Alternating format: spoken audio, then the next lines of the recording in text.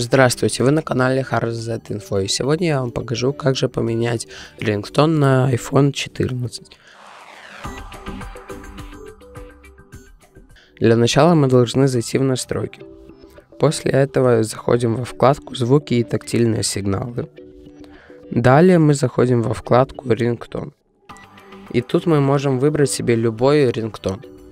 Спасибо за просмотр, ставьте лайки, пишите комментарии и подписывайтесь на канал.